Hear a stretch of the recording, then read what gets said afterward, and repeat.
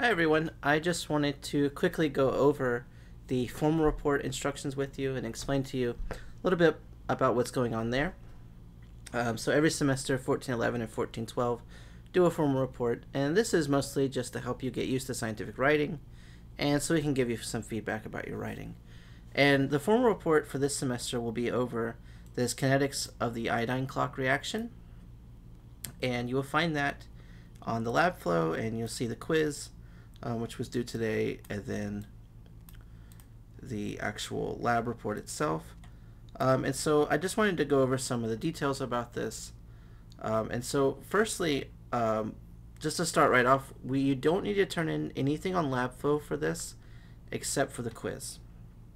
So what you'll actually do is come to the lab section um, and what I've done is I've put up some formal report instructions for you and so you can open these up and um, there's a few guidelines here for you in terms of what font to use, what spacing, what margins.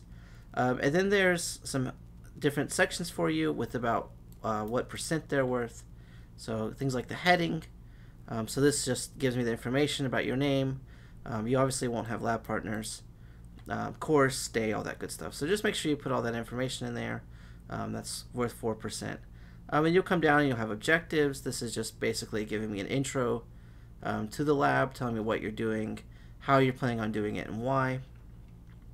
I'll give you the main reaction, so tell me what exactly the reaction is you're, you're finding the kinetics for. Uh, the materials, so whatever they use in the experiment, just make sure you list those there, including chemicals.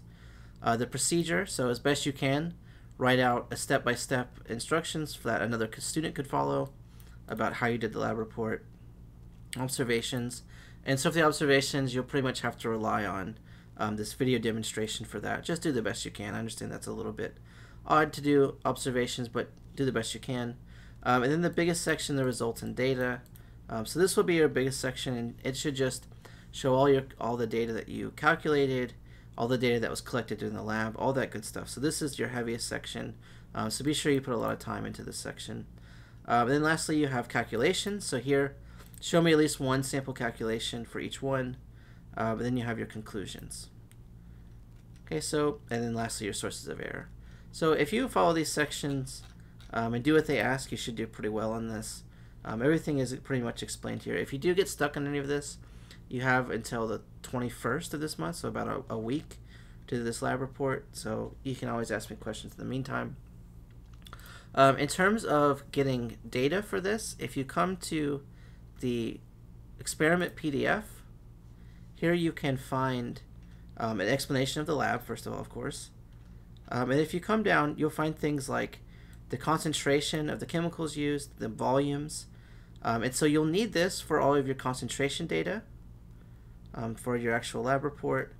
Um, and then they give you some sample calculations and some sample data tables. And you notice, so, sorry, I'll try to stop scrolling, scrolling quite so much. Um, so you'll notice here that this is reaction times and this is all blank. Um, and I'm going to show you where to get those reaction times from. So the concentrations you can calculate based on this information in the table, so table 1. The time you'll get from the actual, actually from LabFlow, time for, and then the, the concentrations you'll calculate, um, so table B and table C there, um, and then yeah, so table B and table C, you'll just do those calculations along with table D. Okay, so that's basically will kind of give you an idea what to put into your data section. Um, and then exactly what you need for time data, um, if you come to the actual where you would normally submit the lab, so we won't submit anything here. So if we just come to the report section, so the first thing you'll do is you will choose that yes, you're completing this online say next, and it says if you're completing the report online, select the provisional data option, and you'll be given data. So hit request provisional data, and it'll ask you to confirm. So just say confirm, and then it will generate the time data for you um, so that you'll be able to actually complete the lab report. You still have to do the calculations yourself, um, but this will be the data that you would have collected had you performed the lab in person. Okay, and then as far as turning this in, I don't have the link created just yet. But if you'll come back to this lab section, there'll be a place for you to submit the report. Okay, so again, nothing to turn in on LabFlow for this one.